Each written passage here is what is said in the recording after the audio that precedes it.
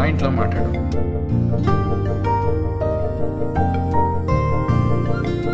నేను మాట్లాడతానంటే అవుతాడు అసలు ప్రాబ్లం ఏంటో చెప్తేనేగా తెలిసేది.